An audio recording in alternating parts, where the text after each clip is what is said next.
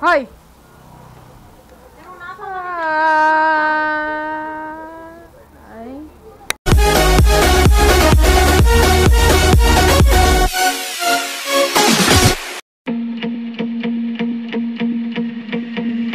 We've been quiet. Said we'd try it for a while, but that was years ago. Me, if I see you, mm, a part of me hopes that we do. No, say everything we wanted to after all this time. I Cut the tree down that we grew. You know the one we carved our names into. Still, I can't go back to the places we knew. Cause they ask me if I still think about you. Only all the time. Still think about you, think about you. Only all the time.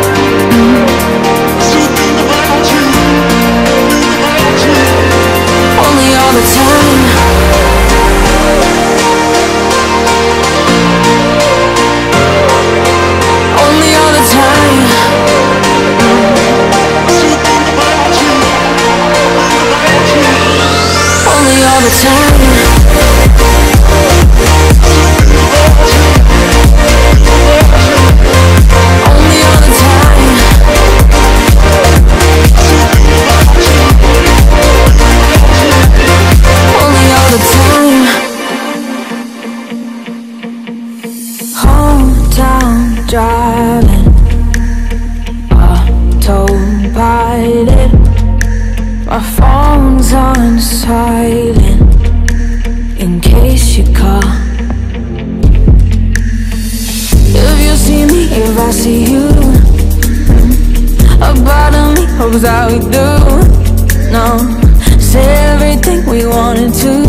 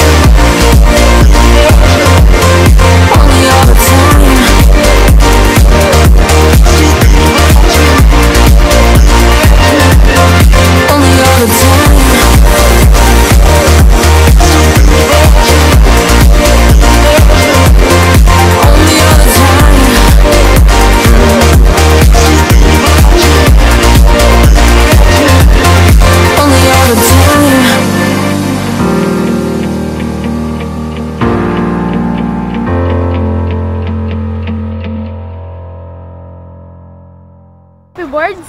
Ahem! It's me again, ha, James Anthony Ruby. Ang inyong may-ari ng channel na ito. Obvious naman kasi channel ko ito. So ngayon, papasok tayo dito sa ano? Casa Redondonda. Bahay na bilog. Octagonal house. Ah, ano masasabi mo doon? Dito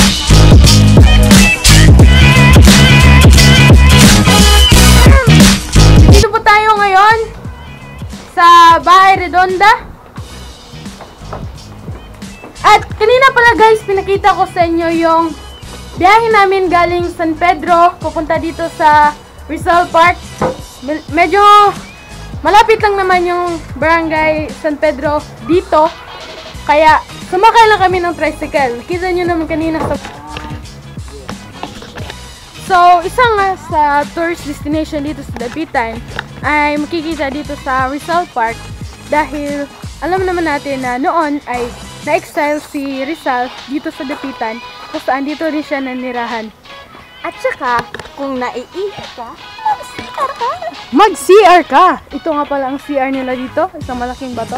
At saka meron akong fact sa inyo. Kasi alam nyo ba na nung na-excel si Rizal dito sa Dapitan, ay nagkaroon siya ng anak. Alam mo yan? Nagkaroon, nagkaroon sila ng anak, pero ang anak nila ay hindi nabuhay. Dahil nakunan si ano, nakunan si yung asawa ni Rizal. Anong gusto? Bakit ang KJ mo? Walang pera eh. Wala ka kasing pera. Wala ka kasing pera. Kasi, alam nyo, si Val, sumama lang siya dito kasi wala talaga siyang pera. Ang gusto niya lang gawin sana, mag-shopping siya. Gusto niya mag-shopping. Bibili daw siya ng damit kasi wala siyang pera. Oh, no choice siya. so guys, mga puppy boards, nandito po tayo ngayon sa puso na bato na hugis puso. O na hugis pusong bato kung saan um, dito daw palaging tumatambay si Josephine Bracken at si Jose Rizal. Tingnan mo ba? Ang romantic ni Rizal. Kaya ang hugis puso ito at parang ito ang sumisim sumisimbolo sa pagmamahal ni Rizal kay Josephine Bracken. Ipapakita ko sa inyo na hugis puso talaga siya. Hindi katulad ng puso niyo. Hindi ka tulad ng mga puso nyo na, na, na, hindi, hindi na hugis puso, bato pa. At makikita nyo na hugis puso talaga siya. Ganyan. Pero may makikita tayong konting deformities kasi dala na nga ng katagalan ng panahon ay ah, merong iba na nalalaglag ng mga bato. Tapos, ang ginagawa nila ay tinatapalan na lang ng simento para hindi, para magmukha pa rin siyang ganon. Kaya, yon.